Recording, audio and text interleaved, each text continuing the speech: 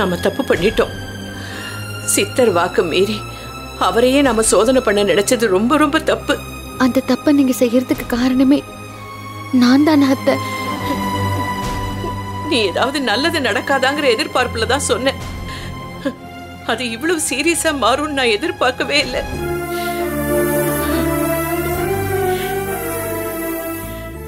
அவனுக்கு ஒண்ணும் ஆகாதுல்ல நாம எதுவும் தெய்வ குத்தம் பண்ணலையே. இல்ல அத்தை. நீங்க மனசு அறிஞ்சு சாமிக்கோ சரி மனுஷனுக்கோ சரி எந்த கெடுதலும் நினைச்சதும் இல்ல நினைக்க போறதும் இல்ல. ஆனா அப்படி இருக்கிறதுனால என்ன பிரயோஜனம்? பெத்த புள்ள அடிபட்டு கிடக்குறான் ஆசையா பக்கத்துல போய் பார்த்து ஆறுதல் சொல்ல முடியல. அத்தை அவர் ஏதோ ஆத்திரத்துல கொஞ்சம் கூட யோசிக்காம அப்படி பேசிட்டாரு. கொஞ்ச நேரம் கழிச்சு அவரே உணர்ந்து வருத்தப்படுவாரு. நீங்க சொல்ற மாதிரி ஆண்டவன் வேற ஏதோ கணக்கு போட்டு வச்சிருக்கான். இனி மாணிக்க மாமாவுக்கு எந்தவித ஆபத்தும் வராது. வந்தது இந்த அளவுல ஓடி போயிடுச்சு. கௌரி நீ என்ன சமாதானப்படுத்ததான் பேசுற? எவனோட வச்சுக்கிட்டாலும் சிவனோட வச்சுக்காதன்னு எவ்வளவோ பேர் சொல்லியிருக்காங்க. சித்தனோட ரூபத்துல வந்த சிவனோட பேச்சை மீறினது. அது தப்பா போகும் தான் நினைச்சேன். அத்தை திரும்ப திரும்ப அதையே பேச வேண்டாம். கொஞ்சம் அமைதியா இருங்களேன்.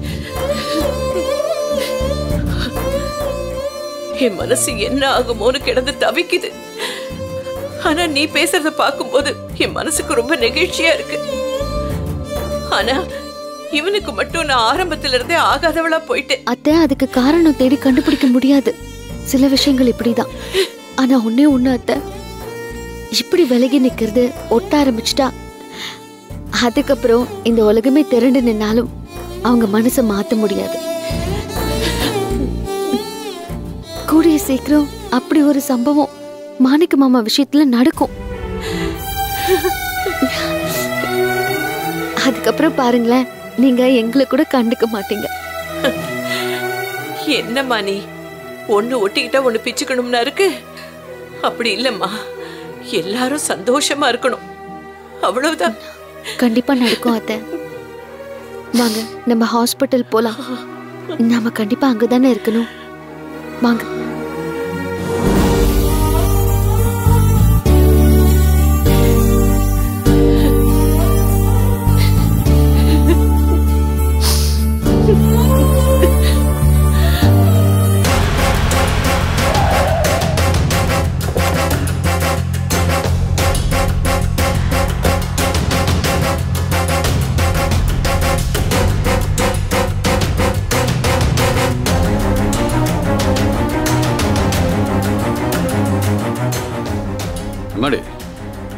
இங்க மாணிக்கம்னு ஒரு பேஷண்ட் செகண்ட் வார்டில் இருக்காங்க.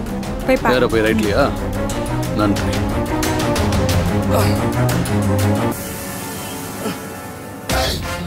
மாப்பிள மாப்பிள என்ன மாப்பிள இது? இருக்கு இருக்கு இருக்கு. இருக்குமா மெதுவா மெது ஜாக்கிர மெது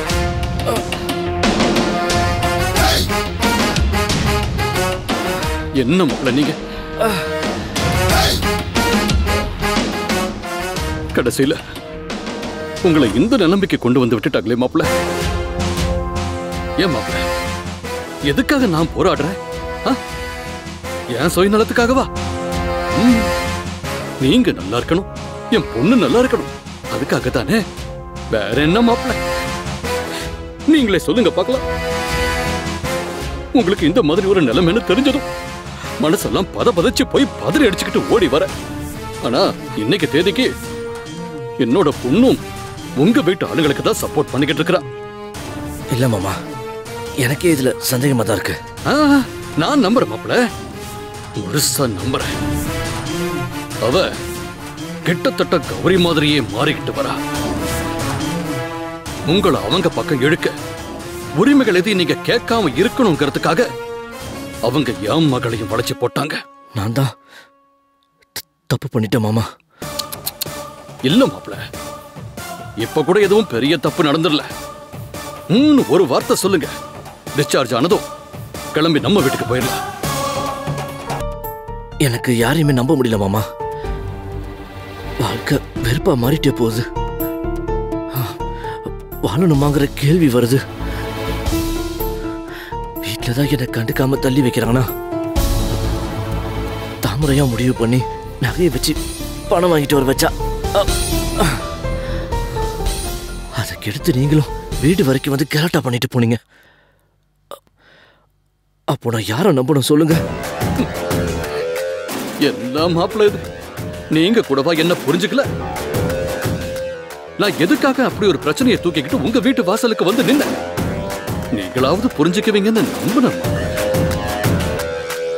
என்னோட மருமக நகையெல்லாம் அதமானம் வைக்கிற அளவுக்கு இறங்கி போயிட்டான்னா அதுக்கப்புறமும் நான் சும்மா இருக்கேனேன்னு. அன்னபூரணி அம்மா. கோபப்பட்டோ? இல்ல ரோஷப்பட்டோ? உங்க உரிமைக்குரியதை உங்களுக்கு செய்ய வேண்டியதை எல்லாத்தையும் செஞ்சிருவாங்கன்ற ஒரு நப்பாசையில தான் நான் அந்த பிரச்சனையை கிளப்புனேன். ஆனா கடைசியில என் மகளை அதை உடைச்சு விட்டு என்னையும் வெளியே அனுப்பிட்டா. இருந்தாலும் மாப்ள இப்பவும் ஒன்னும் கெட்டு போயிடல டிஸ்சார்ஜ் ஆனதுக்கு அப்புறம் நீங்க என் கூட வீட்டுக்கு வந்துடுறேன்னு சொல்லுங்க. அத நானே ஒரு பிரச்சனையா கிளப்புறேன். ஸ்ட்ராங்கா இருங்க. அதுக்கப்புறம் நடக்க வேண்டியதெல்லாம் நான் பாத்துக்கிறேன். என்ன சொல்றீங்க? அப்போ தாமரை? நீங்க ஸ்ட்ராங்கா இருங்க மாப்ள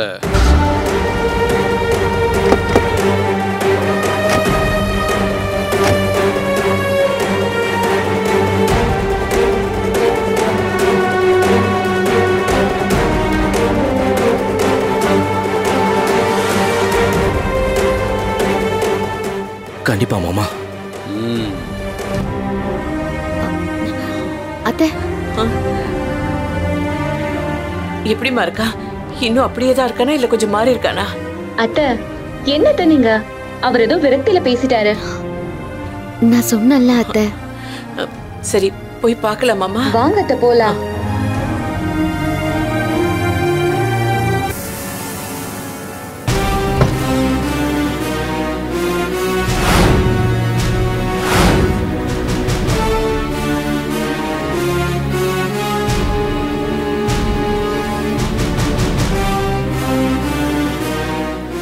வந்தீங்க? நான் இங்க தானே இருந்தேன்.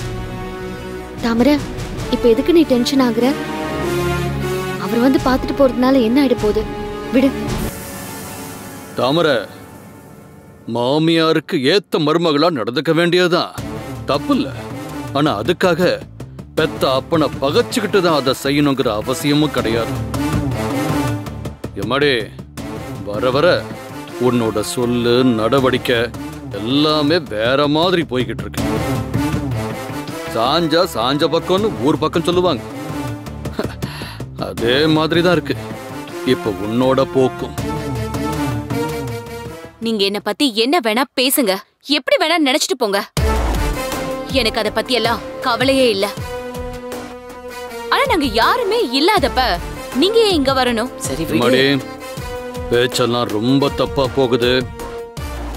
விடுமா தாமரை? நாம மாணிக்கத்தை பார்க்கணும். அவர் போட்டு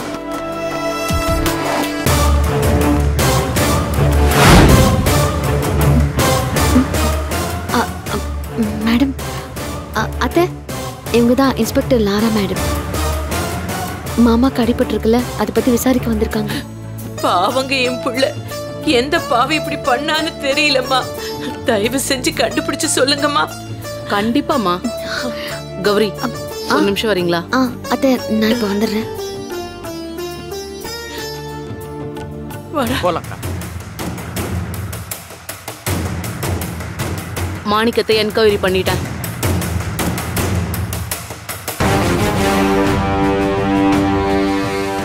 சொல்லுங்க. உங்களை கத்தியால குத்துனது யாருன்னு தெரிஞ்சுக்கலாமா?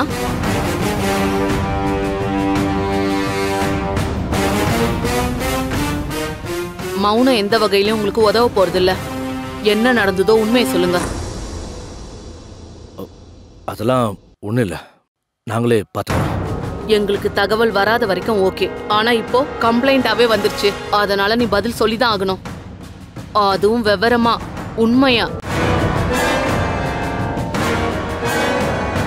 இப்படி அமைதியா இருந்தா இன்னைக்கு வேணா விட்டுட்டு போகலாம்.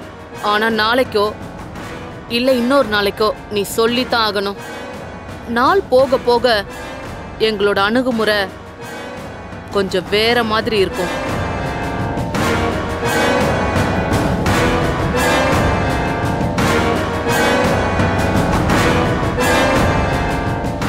சொல்றேன்.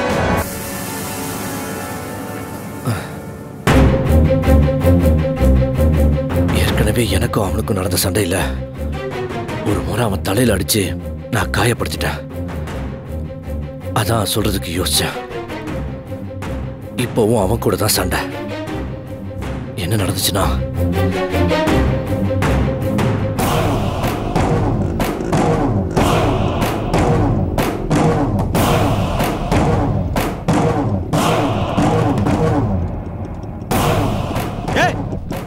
பெச்சாக்கார பயல.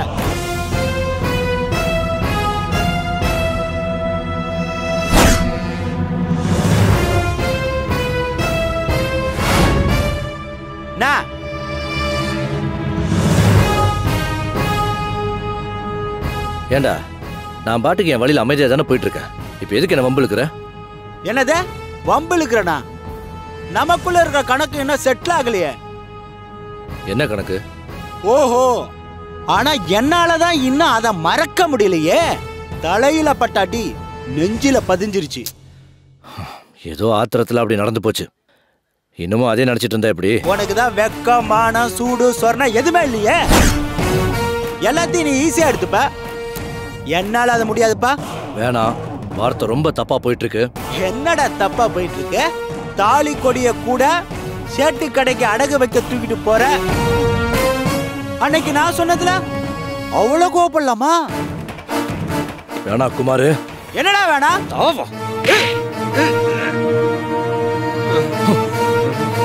ஒன்றுவன் பார்த்துக்க. ஏய். ஏய்,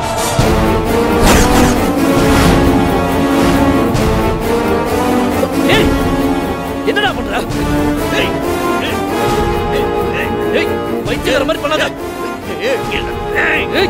ஆ!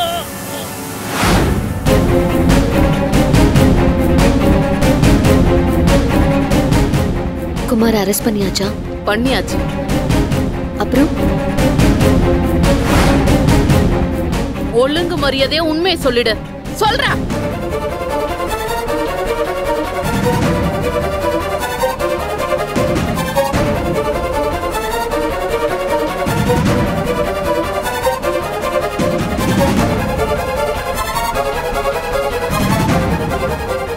என்ன செய்யலாம்?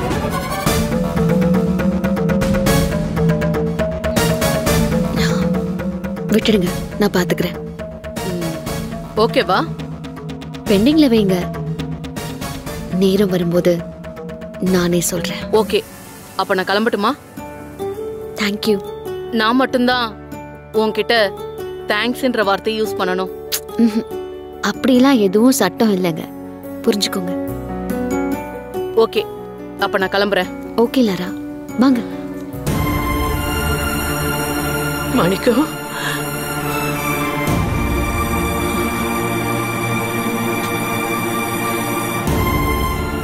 மாணிக்கம் உடம்பு வலிக்குதாப்பா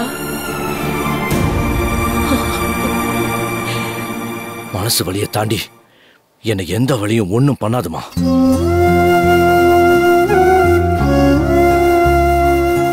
அதுக்கு அவசியமே இல்லடா மாணிக்கம் அன்னைக்கு நடு ஹால்ல நின்னு உன்கிட்ட சொன்னது தாண்டா அது கொஞ்சம் தள்ளி போயிட்டு இருக்கே தவிர எதுவுமே இல்லாம போலடா அத பத்தின பேச்சு தாண்டா ஓடிக்கிட்டு இருக்கு ஆமா அத்தை அது சம்பந்தமா தான் இப்ப எல்லா வேலையும் பார்த்துட்டு இருக்காங்க வேணாம்.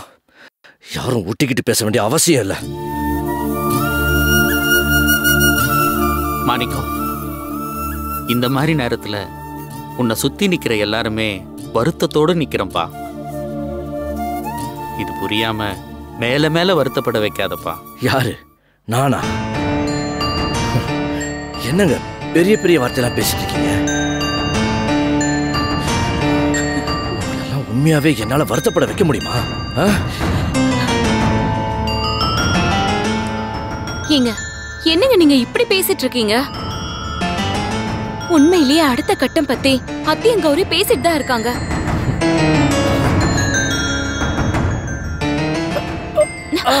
ஏங்க மெதுவாங்க.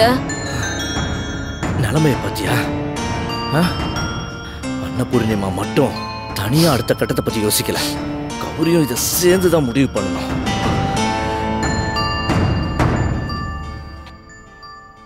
ஏன்னா அவங்க தான் இந்த குடும்பத்தோட ஐம்பது வருஷத்துக்கு மேல வாழ்றவங்க. நம்ம புத்திய மாத்த விடாம செய்யுது. கொஞ்சம் மாறணும்னு யோசிச்சா கூட யோசிக்க விடாம இப்படித்தான் இப்படிதான் எப்பவும் நடக்குது. இவங்க சேர்ந்து முடிவு பண்ணாதான் இந்த வேலை நடக்கும்னா எனக்கு அப்படி ஒரு மண்ணாங்கட்டையும் தேவையில்லை. மணிக்கோ டேய் விடுறா. இந்த வலியோட இப்ப அதெல்லாம் பேச வேண்டாம். வீட்டுக்கு போய் கொஞ்சம் ரெஸ்ட் எடுத்துட்டு உடம்பு சரியானதுக்கு அப்புறம் பேசலாம்ப்பா. இப்ப நீ கொஞ்சம் அமைதியா இருப்பா.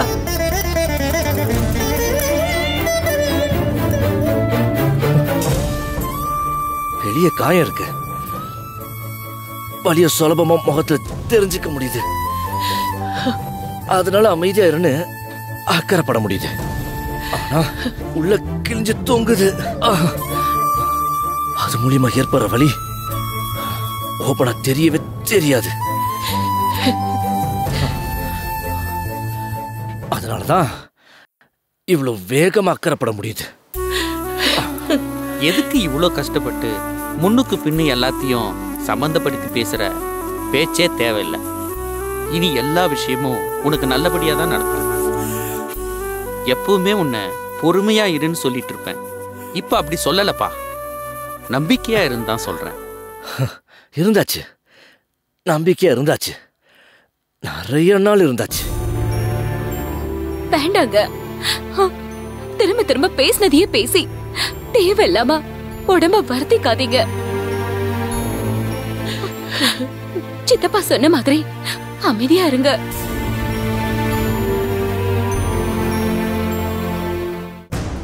இப்ப டிஸ்சார்ஜ் ஆனதும் நான் வீட்டுக்கு போறேன்னு வைங்க. நம்பிக்கையா இரு நம்பிக்கையா இருன்னு மாத்தி மாத்தி சொல்றீங்கல்ல? சரிம்மா. நானும் நம்பிக்கையாவே இருக்கேன்.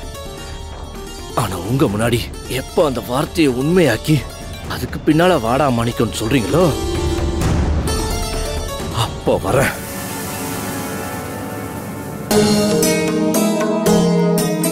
ஏங்க என்னங்க சொல்றீங்க நீங்க? ஆமா தமர. உண்மையதான் சொல்றேன். பக்கத்துல இருக்க இருக்க மனசு படாத பாடுபடுது. இப்ப சொல்லிருவாங்களா இல்ல அப்புறம் சொல்லிருவாங்களான்னு நிமிஷத்துக்கு நிமிஷம். எதிர்பார்ப்பு அதிகமாயிட்டே போகுது. எதிர்பார்ப்பு அதிகமாக அதிகமாக ஏமாற்றம் வரும்போது வலியும் வேதனையும் அதிகமாகிட்டே போகும்னு உங்க எல்லாருக்கும் நான் சொல்லி தெரிய வேண்டியதில்லை.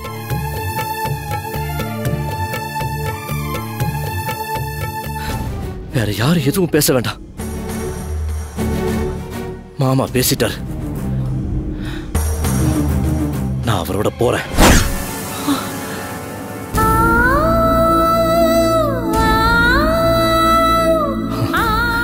எல்லாரும் சீக்கிரம் சரியாகும்னு சொல்றீங்க. சரியாகட்டும். அதுக்கப்புறம் வரேன். டேய் டேய் மாணிக்கம் மாணிக்கம் வேணாண்டா. பேசினதெல்லாம் போதும்டா ஆயுசு முழுக்க பேச வேண்டியதெல்லாம் பேசிட்ட பேசி முடிச்சிட்ட தயவு செஞ்சு நீ எங்க கூடவே வந்திருப்பா. வந்திருப்பா.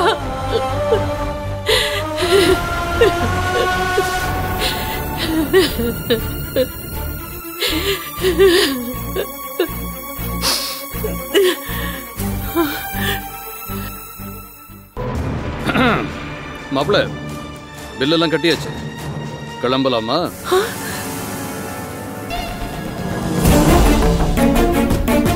ஓ உங்க வேலை தானா இதெல்லாம்? குடும்பத்தை பிரிக்கிறது ஏதாவது கொடுமையா யோசிச்சு குழப்பத்தை உண்டு பண்றது. எப்ப எந்த பிரச்சனை வந்தாலும் எங்க வீட்டுக்கு கூட்டிட்டு போறேன்னு பூச்சாண்டி காட்டுறது. இது தவிர நல்ல விதமா உங்களுக்கு எதுவுமே யோசிக்க வராதா? இது பாருங்க நான் இங்க வீண சண்டை போடுறதுக்காகவோ இல்ல பிரச்சனை பண்றதுக்காகவோ வரல. என் வீட்டுல என்னால நிம்மதியா இருக்க முடியல. தயவு செஞ்சு நீங்க என்னையும் உங்க வீட்டுக்கு கூட்டிட்டு போயிருங்கன்னு கைய புடிச்சுக்கிட்டு மாப்பிள்ள கெஞ்சினாரு. எப்படி என்னால அவர்கிட்ட முடியாதுன்னு சொல்ல முடியும்? அதை தவிர குடும்பத்துக்குள்ள குழப்பத்தை உண்டு பண்றதோ இல்ல குடும்பத்தை பிரிக்கிறதோ என்னோட வழக்கம் கிடையாது. ஓக்கிடம் இல்லாம நிக்கிறவருக்கு உதவலான்னு முடிவு பண்ண. அவ்வளவுதான். அப்பா இது நல்லா இல்ல நான் அத்தை வீட்ல இருக்கும்போது இவர் உங்க கூட இருந்தா உங்களுக்கு சந்தோஷமா? மாப்பிள்ளை என் கூட வரும்போது நீ மட்டும் எதுக்காகமா அங்க போகணும்?